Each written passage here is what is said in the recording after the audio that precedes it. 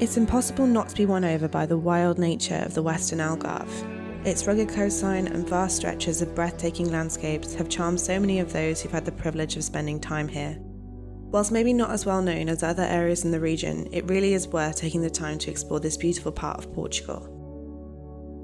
There's evidence that humans have had settlements here since at least the Bronze and Iron Ages, yet despite this, it has one of the most picturesque and best preserved coastlines in Europe.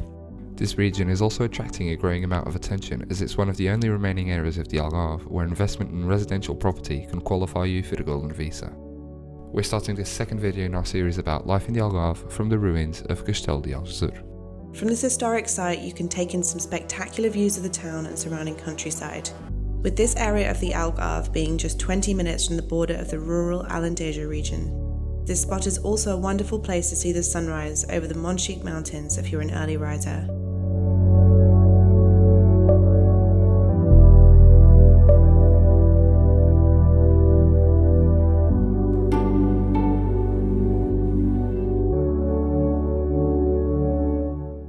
The town of Aljezur, like many places in Portugal, is lined with cobbled streets and plenty of colourful houses. It is divided into two areas by the river it sits upon. The old town on one side of the river dates back to the 10th century, with the newer part of town on the other side dating back to the 17th century. Most of the cafes, restaurants, shops, and a town market can be found close to the bridge that connects the two sides. The town is also home to the International School of Aljezur, ideal if you're coming into the area with children. The Aljezur River flows into the Atlantic Ocean through the beach of Amoreira, which is surrounded by sand dunes and plenty of rich vegetation including some rare and colourful plant species. You can follow the river that winds through the valley behind the beach inland to the long and narrow marshland populated by otters and birds. It is a great place for wildlife spotting during the spring and summertime. Just south along the cliffs, you'll find the beach of Monte Clérigo, which has a large stretch of sand and an interesting rocky platform that emerges at low tide.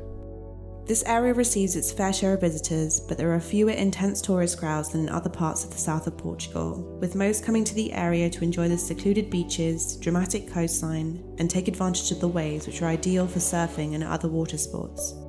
The western and southwestern Algarve arguably have some of the best spots for surfing in the country, with waves that can cater to all abilities breaking onto picturesque coastlines.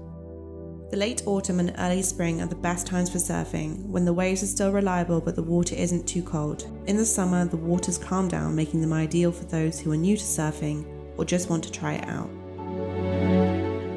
This area of Portugal is also ideal for hikers and cyclists. The Rota Vicentina spans across the south of the Alentejo and down the west coast of the Algarve. It has over a thousand kilometers of cycling routes and 750 kilometers of walking trails to enjoy, all of them with incredible views of the countryside and coast. The Western Algarve has mostly small villages and towns dotted amongst large swathes of open countryside. Among them is Vila do Bispo, which is a peaceful and laid back village with narrow streets and terraced houses. Perhaps the most famous town in the region, Sagres, sits on the southernmost tip of Portugal. This town is slightly bigger than others in the region, but it still has a very relaxed atmosphere. One important site in Sagres is its fortress, built in the 15th century to protect the town from raids. From this site, you can take in wonderful panoramic views of the ocean and nearby Cap de São Vicente. The marina of Sagres is nestled into a sheltered bay around 2 kilometres from the centre of town. It houses plenty of fishing boats as well as some bigger yachts and commercial boats. It's also said to be one of the best places to buy fresh fish in the region. Sagres as a town was historically thought of as a mythical place where the world ended. The name Sagres comes from sagrado, meaning holy or sacred, showing just how important this place has been to those who've lived here throughout history. One of the most popular spots to the west of the town centre, Cap de São Vicente, is to this day known colloquially as O Fim do Mundo, or the end of the world.